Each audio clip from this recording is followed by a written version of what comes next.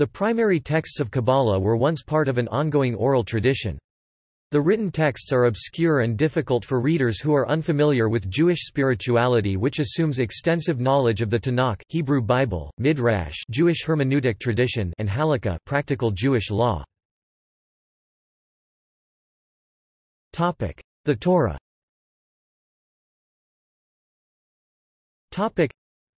For Kabbalists, ten utterances in Genesis with which God created the world are linked to the ten Sephirot—the divine structure of all being. According to the Zohar and the Sefer Ha-Yihud, the Torah is synonymous with God. More specifically, in the Sefer Ha-Yihud, the letters in the Torah are the forms of God. The Kabbalist looks beyond the literal aspects of the text, to find the hidden mystical meaning. The text not only offers traditions and ways of thinking, but it also reveals the reality of God. One of the first Jewish philosophers, Philo of Alexandria 20 BCE to 40, said that Abraham knew the essential Torah, before it was given, because Abraham was himself a philosopher, he observed the world around him and looked inside himself to discover the laws of nature. While this is not strictly speaking a mystical notion, it does introduce the idea of an inner Torah that underlies the written word. Much later, in the 19th century, the Sfas Emes, a Hasidic Rebbe, made the assertion that it was actually Abraham's deeds that became Torah.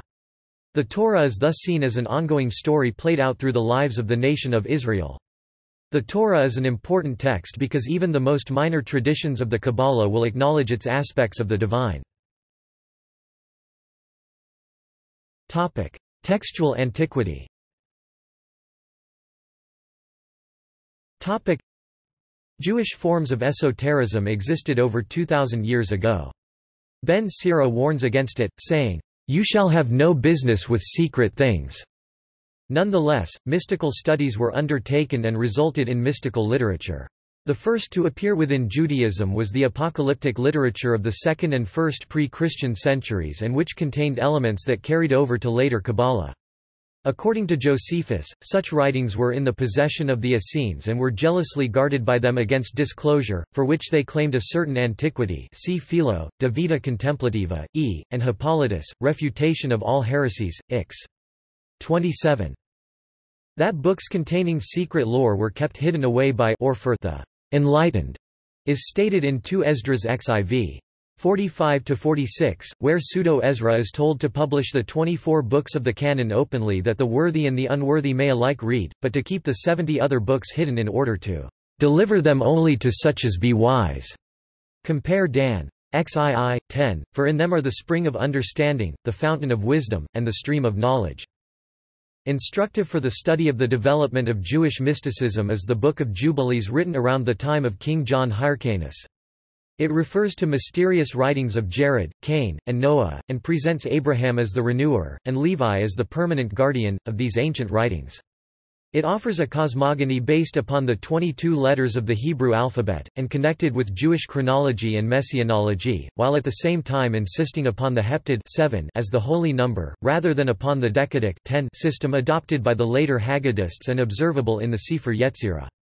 The Pythagorean idea of the creative powers of numbers and letters was shared with Sefer Yetzirah and was known in the time of the Mishnah before 200 CE. Early elements of Jewish mysticism can be found in the non-biblical texts of the Dead Sea Scrolls, such as the Song of the Sabbath Sacrifice. Some parts of the Talmud and the Midrash also focus on the esoteric and mystical, particularly Chagigah 12b-14b. Many esoteric texts, among them Hekilot Rabbati, Sefer Habahir, Torat Hakana, Sefer P. Leah, Midrash Oto d. Rabbi Akiva, the Bahir, and the Zohar claim to be from the Talmudic era, though some of these works, most notably the Bahir and Zohar, are considered by some modern scholars to clearly be medieval works pseudepigraphically ascribed to the ancient past. Traditional orthodoxy, however, does not agree to this. In the medieval era Jewish mysticism developed under the influence of the word-number esoteric text Sefer Yetzirah. Jewish sources attribute the book to the patriarch Abraham, though the text itself offers no claim as to authorship. This book, and especially its embryonic concept of the Sephirot, became the object of systematic study of several mystical brotherhoods which eventually came to be called Baal ha-Kabbalah, possessors or masters of the Kabbalah. Primary texts Topic. Topic. Haikalot Topic. Hekalot heavenly palaces, are not a single text. Rather, they are a genre of writings with shared characteristics. These texts primarily focus either on how to achieve a heavenly ascent through the Haikalot heavenly palaces and what to expect there, or on drawing down angelic spirits to interact and help the adept. There are several larger documents of the Haikalot, such as Hekalot Rabati, in which six of the seven palaces of God are described, Hekalot Zutarti, Shior Koma and 6th century 3 Enoch, as well as hundreds of small documents, many little more than fragments. Sefer Yetzirah Sefer Yetzirah Book of Formation, Creation also known as Hilkot Yetzirah laws of formation, is a primary source of Kabbalistic teaching. The first commentaries on this small book were written in the 10th century, perhaps the text itself is quoted as early as the 6th century, and perhaps its linguistic organization of the Hebrew alphabet could be from as early as the 2nd century. Its historical origins remain obscure, although many believe that it was authored by Abraham and edited by Rabbi Akiva. It exists today in a number of editions, up to 2,500 words long about the size of a pamphlet. It organizes the cosmos into 32 paths of wisdom, comprising 10 sephirot, three elements, air, water and fire, plus six directions and center and 22 letters of the Hebrew alphabet three mother letters, seven double letters plus 12 simple letters. It uses this structure to organize cosmic phenomena ranging from the seasons of the calendar to the emotions of the intellect, and is essentially an index of cosmic correspondences. Bahir. Bahir. Illumination also known as Midrash of Rabbi Nehunya ben Ha-Kana, a book of special interest to students of Kabbalah because it serves as a kind of epitome that surveys the essential concepts of the subsequent literature of Kabbalah.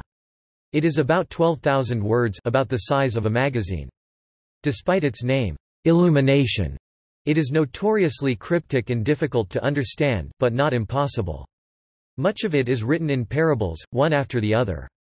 The Bahir opens with a quote attributed to Rabbi Nehunya ben Ha-Kana, a Talmudic sage of the 1st century, and the rest the book is an unfolding discussion about the quote.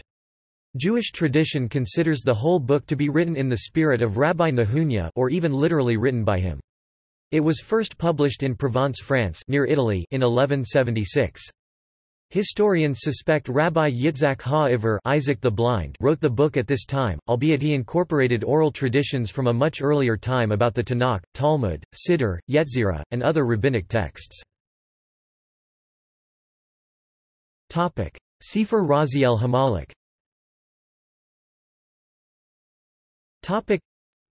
Sefer Raziel Hamalik Urzel Hemelch Book of Raziel the Angel is a collection of esoteric writings, probably compiled and edited by the same hand, but originally not the work of one author. Leopold Zunz G. V. 2d ed. p. 176 distinguishes three main parts, 1 the Book Ha-Malbush, 2 the Great Raziel, 3 the Book of Secrets, or the Book of Noah. These three parts are still distinguishable, 2b7a, 7b33b, 34a and b.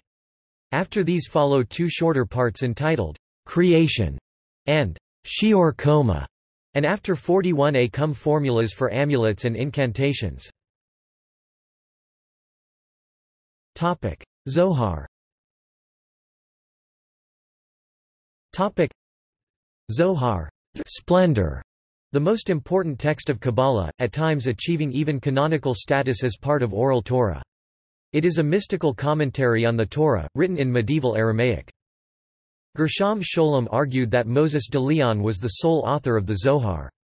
More recently, Yehuda Liebes contended that while de Leon may have been the primary author, he incorporated or recast selections from contemporary Kabbalists e.g. Rabbi Joseph Gikatilla, Rabbi Joseph of Hamadan, Rabbi Bahya ben Asher.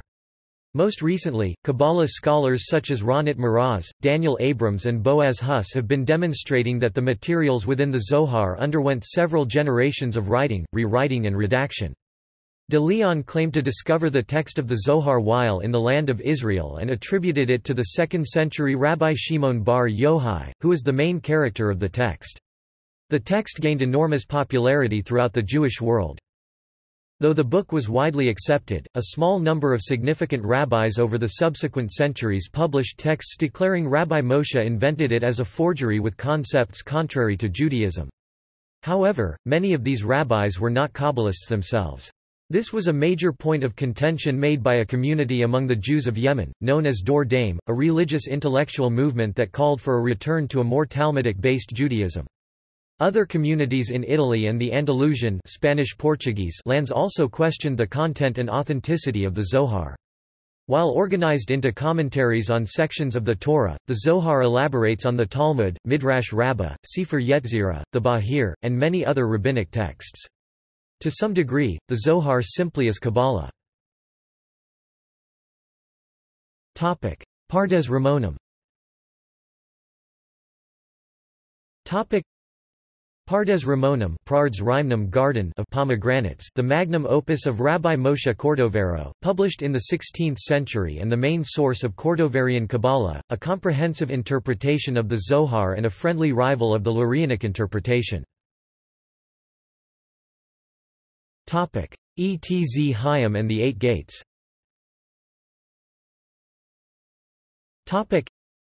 Etz Chaim tree of life is a text of the teachings of Isaac Luria collected by his disciple Chaim Vital. It is the primary interpretation and synthesis of Lurianic Kabbalah. It was first published in Safed in the 16th century. It consists of the primary introduction to the remainder of the Lurianic system. The Shemona Shi Arim eight gates, is the full Lurianic system as arranged by Shmuel Vital, the son of Chaim Vital. Eitz Chaim is the only work published within Chaim Vital's lifetime, the rest of his writings were buried with him in an unedited form. Supposedly Shmuel Vital had a dream that he was to exhume his father's grave and remove certain writings leaving the others buried. Shmuel Vital went on then to redact and publish the works as the Eight Gates which are then, at times subdivided into other works, Shar HaHakdamat, Gate of Introduction, Otstro Hayim, Eitz Hayim, Arba Meot Shekel Kesef, Mavo Asharim, Adam Yashar Shar Mamri Rashbi y, Gate Words of R. Simeon Bar Yochai Shar Mamri Raz L, Gate Words of Our Sages Shar Hamitzvah, Gate of Mitzvah Commandments Shar Hapasukim, Gate of Verses, Lakute Torah, Sefer Halakutim Shar HaKavanot, Gate of Kavanot Intentions, Shar HaKavano, Pri Eitz Hayim, Olet Tamid Shar Ruach HaKodesh, Gate of Prophetic Spirit Shar Hagalgulam, Gate of Gilgul Reincarnation Sephardi and Mizrahi Kabbalists endeavor to study all eight gates. Etz Chaim is published standard in a single volume three-part arrangement, the initial two parts published by Chaim Vital, with a third part, Nahar Shalom by Rabbi Shalom Sharabi, being now considered the third part. Ashkenazi Kabbalists often tend to focus only on Eitz Chaim, with explanations of the Ramchal Rabbi Moshe Chaim Luzzatto. However this is not always the case. There are yeshivos such as Shar Shmeim that deal with the works of the Chaim Vital in their entirety. Topic notes topic topic References topic Dan, Joseph, The Early Jewish Mysticism, Tel Aviv, Mod Books, 1993. Blank, The Unique Cherub Circle, Tübingen, J.C.B. Mohr, 1999. Dan, Joseph and Kiener, Ron, The Early Kabbalah, Mahwah, N.J., Paulist Press, 1986. Dennis, G., The Encyclopedia of Jewish Myth, Magic, and Mysticism, St. Paul, Llewellyn Worldwide, 2007. Fine, L., ed., Essential Papers in Kabbalah, New York, NYU Press, 1995. Idel, Moshe. Kabbalah, New Perspectives. New Haven and London, Yale University Press, 1988. Blank, Kabbalah, New Perspectives, New Haven, Yale Press, 1988. Blank, The Story of Rabbi Joseph della Reina, in Benayahu, M., Studies and Texts on the History of the Jewish Community in Safed. Kaplan, Aryeh Inner Space, Introduction to Kabbalah, Meditation and Prophecy. Moznaim Publishing Corp. 1990. Blank, The Bahir, trans. Aryeh Kaplan, Aronson, 1995. ISBN 1-56821-383-2, blank, The Sefer Yetzirah, The Book of Creation, in Theory and Practice, trans. Aryeh Kaplan, Samuel Weiser, Inc., 1997. ISBN 0-87728-855-0 John W. McGinley, The Written as the Vocation of Conceiving Jewishly, ISBN 0-595-40488-X Scholem, Gershom, Kabbalah, Jewish Publication Society. Weinberg, Yosef. Lessons in Tanya, The Tanya of R. Schneur Zalman of Liadi 5-volume set. Merkos L'Inyonei Chinuch, 1998. ISBN 0-8266-0546-X The Wisdom of the Zohar, an anthology of texts, three-volume set, ed. Isaiah Tishby, translated from the Hebrew by David Goldstein, The Littman Library. This article incorporates text from a publication now in the public domain, Singer, Isidore, et al., eds. 1901–1906. Article name needed. Jewish Encyclopedia. New York, Funk and Wagnalls Company. Topic online bibliographies and study guides Topic Don Carr's Bibliographic Surveys A Guide to English Language Resources for the Student of Traditional Rabbinic Kabbalah Topic Online Rabbinic Kabbalah Texts Topic Who should learn the Hidden Torah Rambam PDF Maimonides Guide for the Perplexed English and Aramaic Zohar Online searchable Kabbalah Center Kabbalah Digital Library response-alike searchable B'nai Baruch topic Online Hasidic Kabbalah Texts topic Lessons in Tanya, Chabad The Gate of Unity Translation and Commentary of The Gate of Unity